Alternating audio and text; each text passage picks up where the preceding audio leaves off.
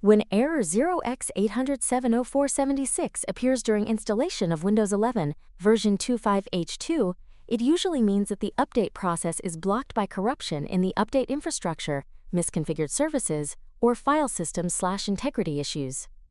Repairing the component store, clearing the update cache, verifying system services, and ensuring disk integrity are the key remediation paths. Here are the solutions for this error.